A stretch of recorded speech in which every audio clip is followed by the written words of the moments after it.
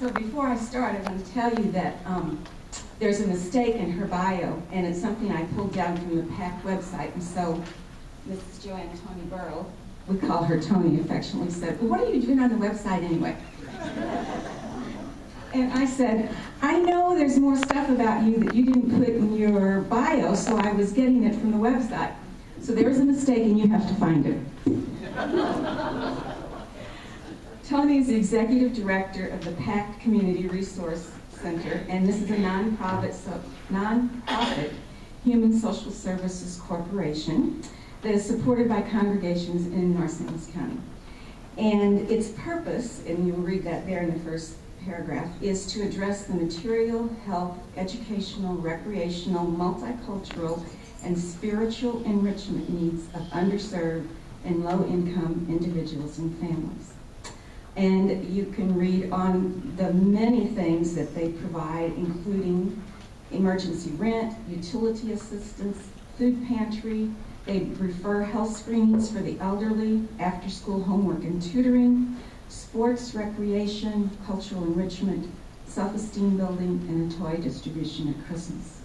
And I've had the pleasure of getting a tour of the PACT Center when it was on um, North Florissant.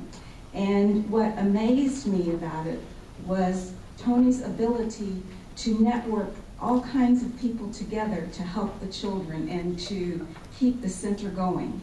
And she talks about that in the second paragraph. Her expertise is in strategic planning and networking collaborative alliances and partnerships. Amen. It is her, that is her strength and expertise.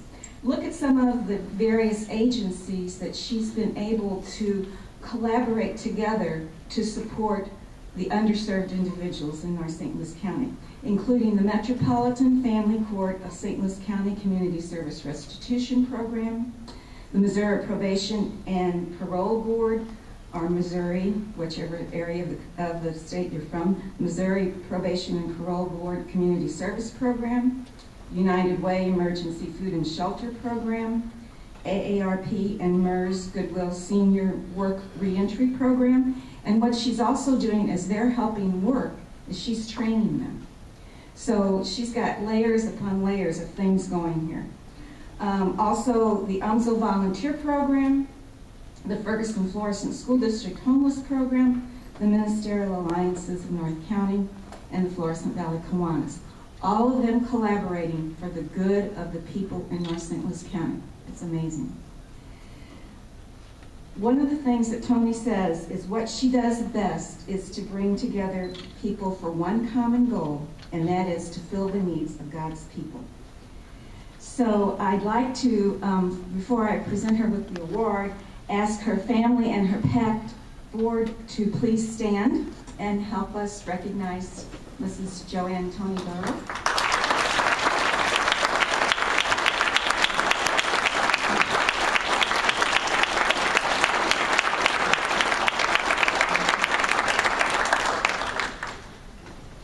Toni, NCCU is proud to present you with the Community Service Award for your work to pr promote racial harmony and social justice through PACT programming and through your consulting work.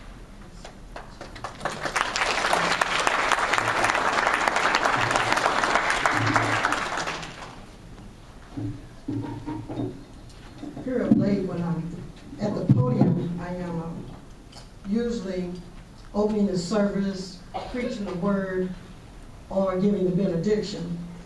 So it actually leads me to say, praise the Lord, saints. Praise the Lord. As I look around this room and I recognize the people of God for who you are in the church, I am serious when I say, praise the Lord, saints. I don't know how she got on that internet because I'm downloading a new program on the web tomorrow because of her.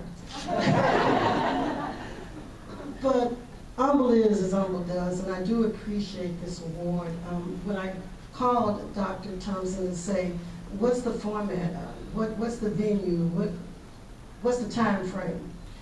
And every time I asked her a question, she said, not quite.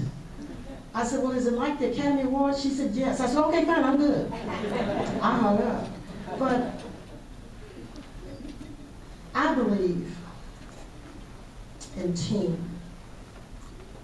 And I appreciate this award. I think it's, it's a great thing to do to recognize people for what they do. But I want to talk about the team. And most of you probably would think if I said something about the team, that it's about the PAC board. That's not the team, even though I appreciate what the PAC board does, and I'm grateful for them being there to lead me where I need to go, to help me when I need some decisions made. They're not the whole team. The team, if you were to use it as an acronym, T period, E period, A period, M period, together, everyone accomplishes more, that's the team. That would be some of you sitting out here individually. Those people that come along, I got a lady that sends me ten dollars every month. That ten dollars, when you add it up, it pays for somebody's electricity, she's of the team. When I talked to Boeing and I said, I need fifty thousand dollars to send sixty-five kids to the summer program. They didn't tell, tell me yes, but they didn't tell me no either, I'm looking for a fifty thousand dollar check. Part of the team when I called out to the family court and I said, you know, I got this kid and I'm trying to work with him, but I need somebody else. I need, I need a preacher. I, I, need a counselor to help this kid understand where he's going to go in life. They send me somebody, part of the team. My team is not, if I were to just label them all, it's not an exhaustive list, but they're part of the team. They're partnerships.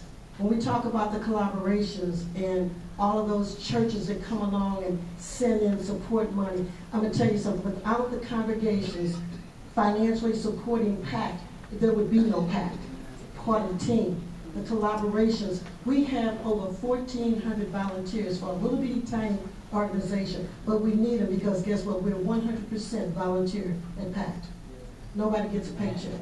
But what we give and what we get back from it is those kids and that will never have the opportunity to enjoy some of the things that they get because PAC is there. So that is the team, but not an exhaustive list. I, I, I want to tell you about some days do I love my job? I do. Some days do I not love that job? I do not love that job. I'm retired. I'd like to, when someone is not get up, I like to kid around and say, I work half days. That's not four hours, that's 12 hours. And so we, we do it all, but I, I just want to tell you that I appreciate NCCU for being where they are because they help us to realize that there are people out there that need NCCU. There are people out there that need to know about justice, about equality, about what we can do to bring us all into diversity for real. And so that's what they do. So I'd like to say thank you for this, but I'd like for you to thank the team. Don't forget to include yourself because you're part of our team. Thank you.